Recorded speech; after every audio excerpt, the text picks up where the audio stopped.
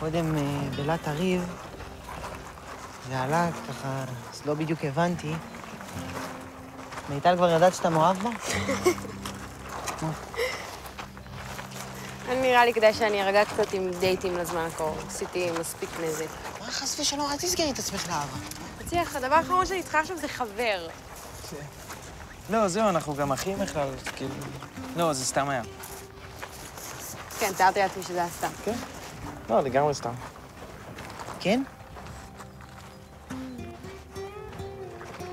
אז מה תעשי עכשיו? לא יודעת, תמצא מלון אחר. ולא אדבר שם עם אף אורח בחיים. בטוחה שאת לא רוצה לדבר עם ההורים שלך? נו, זה לא שחסרים מלונות באילת, אני אמצא את עצמי, אמצא משהו. אני לא לוקחת סיכון שמשהו יקרה להורים שלי. מה הייתי עושה עכשיו כדי לחבק את אבא שלי?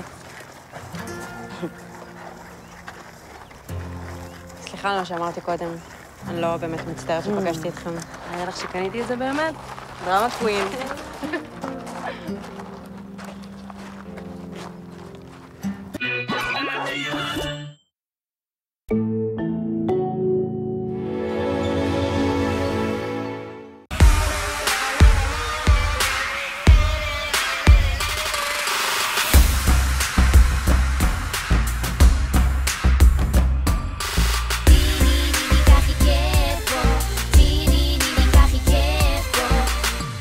fearful.